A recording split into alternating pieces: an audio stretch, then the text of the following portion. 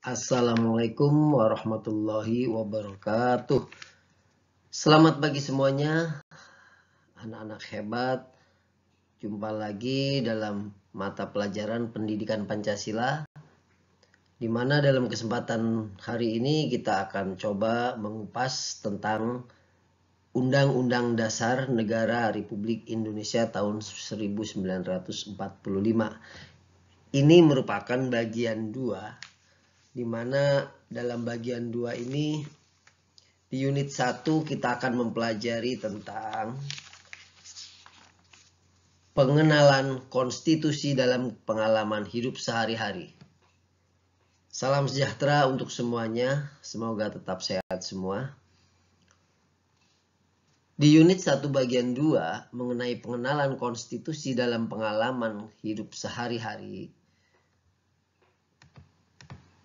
Dalam mata pelajaran pendidikan Pancasila ini memiliki tujuan pembelajaran yang akan dicapai ataupun yang harus dicapai oleh peserta didik di mana peserta didik di sini diharapkan mampu atau dapat mendeskripsikan dan membuat kesimpulan penting.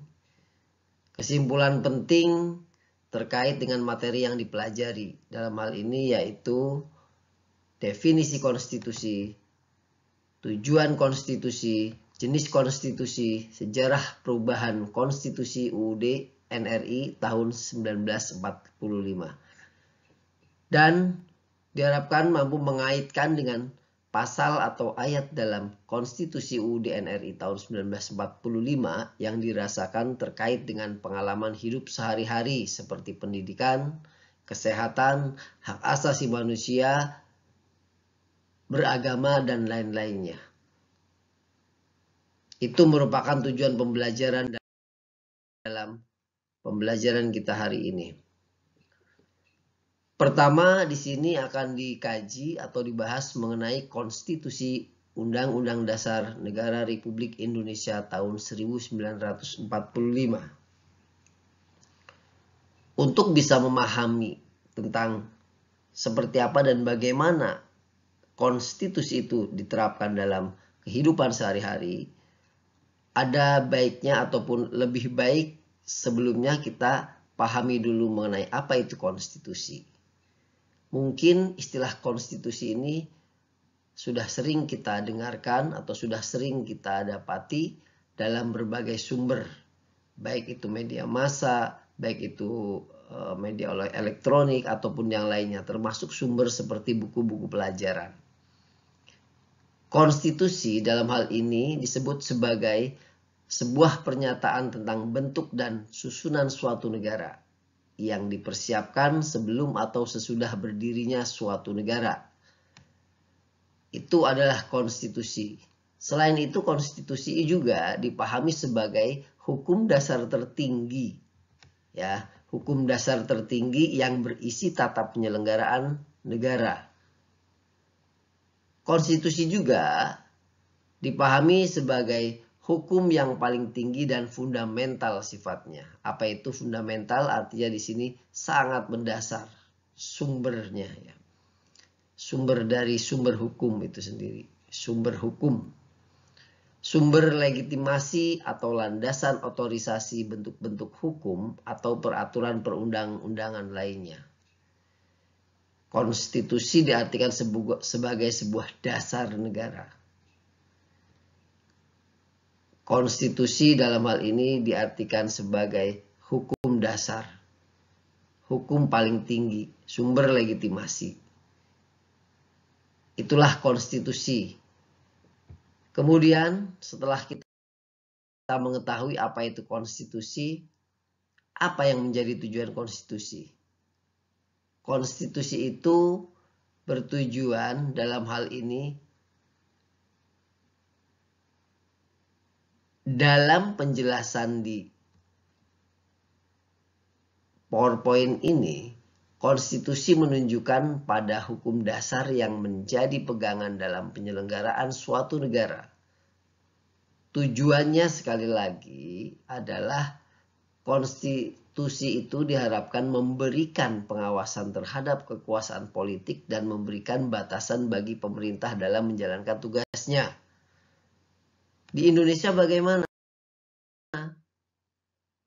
Di Indonesia, UUD NRI 1945 sebagai sebuah konstitusi itu memiliki memiliki tujuan dan itu tertera ataupun e, berada di pembukaan Undang-Undang Dasar 1945 khususnya di alinea 4. Pertama, melindungi segenap bangsa Indonesia dan seluruh tumpah darah Indonesia. Kedua, memajukan kesejahteraan umum. Ketiga, mencerdaskan kehidupan bangsa. Keempat, ikut melaksanakan ketertiban dunia. Itu adalah tujuan konstitusi. Dalam hal ini, konstitusi Indonesia yaitu UUD NRI 1945. Selanjutnya, setelah kita mengetahui apa itu konstitusi, tujuannya apa, lalu kita harus tahu juga mengenai macam-macam atau jenis-jenis konstitusi itu sendiri. Secara umum, konstitusi itu memiliki dua jenis. Yang pertama, tertulis, konstitusi tertulis. Yang kedua, konstitusi tidak tertulis. Pertama, konstitusi tertulis. Kedua, konstitusi tidak tertulis. Contoh dari penerapan konstitusi tertulis adalah negara kita sendiri, yaitu negara Indonesia. Indonesia merupakan negara yang menerapkan konstitusi tertulis. Dalam hal ini yaitu UUD NRI 1945. Apa maksud konstitusi tertulis? Konstitusi tertulis itu adalah konstitusi yang memang terbukukan, terdokumentasikan. Seperti kita tahu bahwa UUD 1945 jelas terdokumentasikan dan terbagi menjadi tiga bagian di dalamnya, baik itu pembukaan, batang tubuh, ataupun penjelasan. Semua tertulis. Ada dokumennya, ya. Seperti halnya Indonesia, Amerika, di dalamnya juga termasuk negara yang menerapkan konstitusi tertulis. Yang kedua yaitu konstitusi tidak tertulis, di mana ini diartikan semacam sebuah konvensi. Apa apa itu konvensi? Konvensi itu adalah istilah permufakatan atau kesepakatan di mana di dalamnya itu terutama mengenai adat, tradisi, pidato kenegaraan presiden. Biasanya pidato kenegaraan presiden ini di awal tahun ya. Di Indonesia seperti itu. Contoh negaranya adalah Inggris, Selandia Baru, Inggris dan Selandia Baru ini salah satu negara yang memang menerapkan konstitusi itu tidak tertulis. Kemudian setelah tahu apa itu atau macam-macam konstitusi, bagaimana sejarah perubahan konstitusi? UUD NRI tahun 1945 di sini ada beberapa ada beberapa eh, masa penerapan ya dalam sejarah perubahan konstitusi itu sendiri. Di mana dalam dalam beberapa masa ini berdasarkan sejarahnya ternyata UDNRI kita sekali lagi sejak disahkan oleh panitia persiapan kemerdekaan Indonesia atau PPKI itu sudah mengalami beberapa kali perubahan bahkan pergantian. Perubahan ini terjadi karena memang dipengaruhi oleh keadaan dan dinamika dinamika apa ya dinamika politik yang berkembang dan terjadi di negara Indonesia itu sendiri. UUD NRI tahun 45 ini untuk pertama kalinya itu diganti oleh Konstitusi Republik Indonesia Serikat pada 27 Desember 1949. Ya.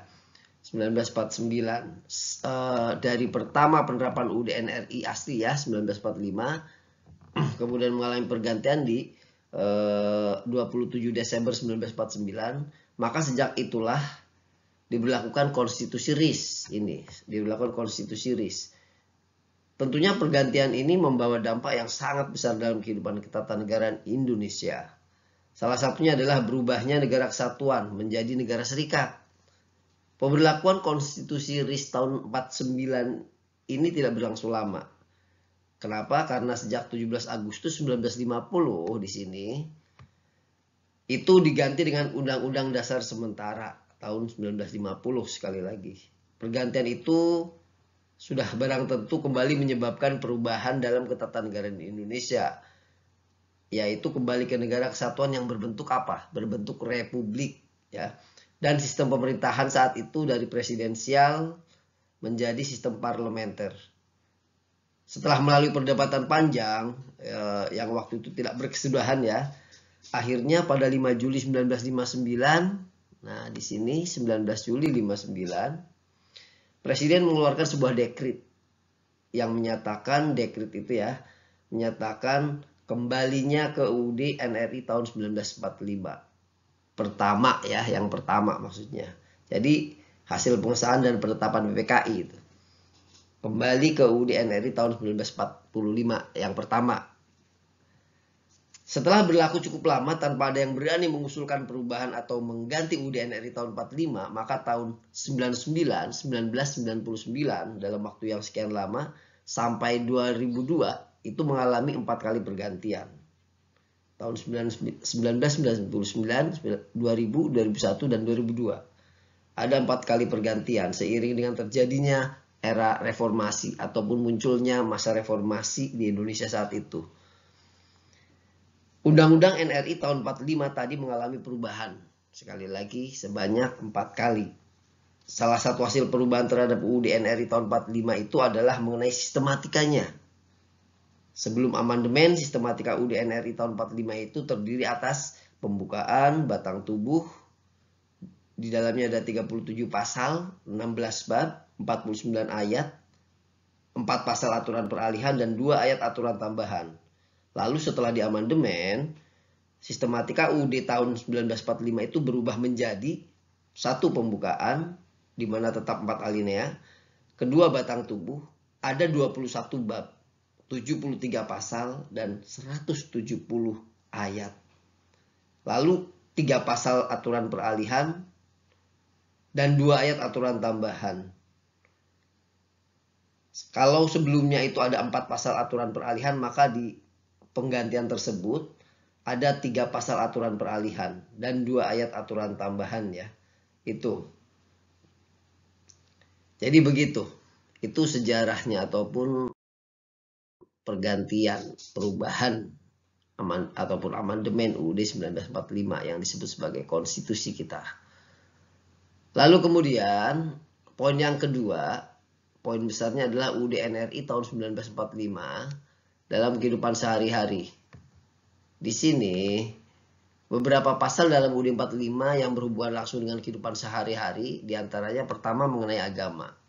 Agama ini ada dalam pasal 29, kebebasan beragama ya, kemudian ada bela negara di pasal 30, ada pendidikan dan kebudayaan yang hari ini sedang kita lakukan prosesnya mencerdaskan kehidupan bangsa yaitu pasal 31 dan 32 ada ekonomi dan kesejahteraan di pasal 33 dan 34 dan ada tentang hak dan kewajiban warga negara pasal 27 serta hak asasi manusia di pasal 28 di mana pasal 28 ini ada 10 ayat A sampai J.